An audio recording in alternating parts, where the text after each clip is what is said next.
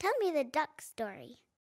Bum bum bum, ba-dum. A duck walked up to a lemonade stand and he said to the man, run in the stand, Hey, bum bum bum, got any grapes? The man said, No, we just sell lemonade, but it's cold and it's fresh and it's all homemade.